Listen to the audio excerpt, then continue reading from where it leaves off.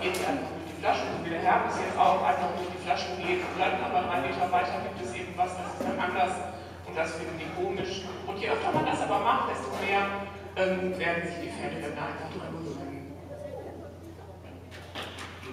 Wie eine Mecke mit dem Flatterband. Das kann er jetzt auch. Dann kommt die jetzt Und die Elfen spielen vorbei.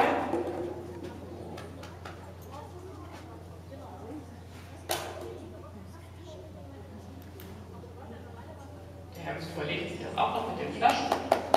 Wichtig ist eben immer, dass man, dass man nie, nie mit Druck an die Sache rangeht, sondern, sondern wirklich die Pferde, die Pferde gucken lässt, wenn sie sich dafür interessieren, lobt, das, das positiv bestärkt ähm, und einfach, einfach nochmal deutlich macht, dass, dass es überhaupt nichts ist, wo man, wo man Angst haben muss.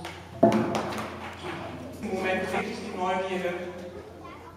Die Elfe weiß es nicht genau, wie sie das findet. Auf jeden Fall spannend.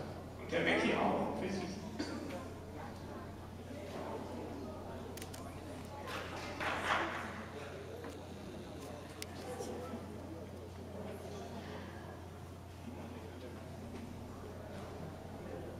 Ich würde fast sagen, das, das reicht das erste Mal schon. Ne?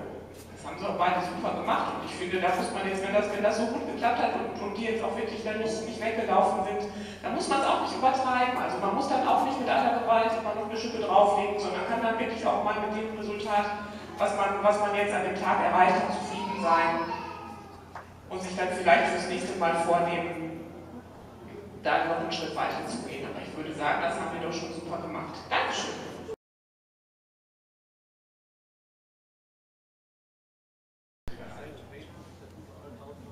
Okay, jetzt habe ich gerade nicht aufgepasst, ist die Kani schon durch das Flatterband gegangen?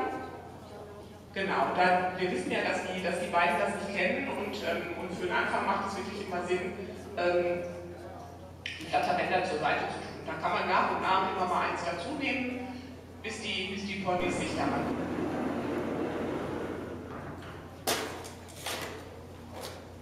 So, jetzt kommen wir hier quasi zu der Königsklasse des Gelassenheitstrainings und sehen hier Sir Cedric 4 mit der Pia.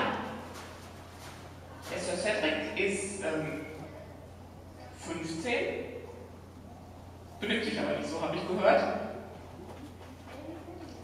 und ist ein echter Gelassenheitstrainingsprofi und die Pia ist, ähm, ist mit dem, mit dem Sir Cedric ganz, ganz viel unterwegs, also die sind viel im Gelände, ich weiß, sie fahren, ähm, fahren regelmäßig in Urlaub, ähm, reiten am Strand und, und, und. Und ähm, das ist auch der Grund dafür, dass, ähm, dass die Pia eben in der Lage ist,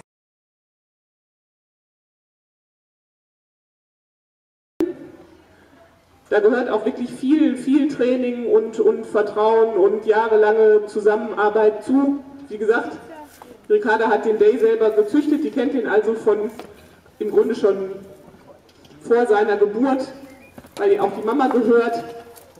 Aber da sieht man jetzt wirklich gut, dass die beiden hier wirklich ein Team sind. Und man sieht vor allem auch, wie viel Spaß dem Day das macht hier.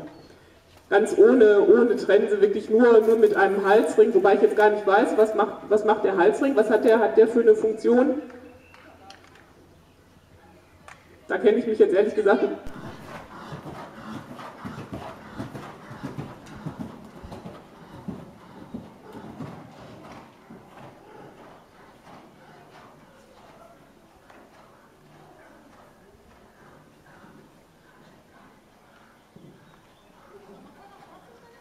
Huh?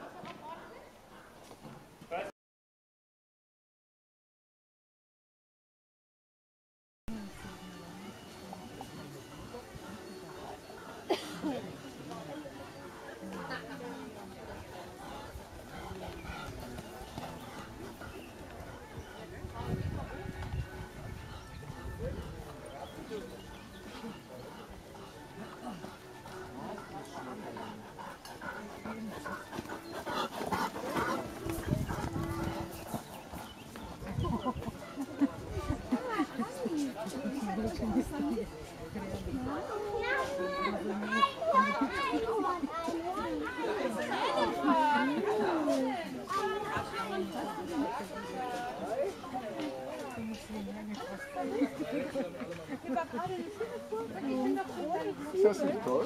Ja, toll. Nur mit dem Reis.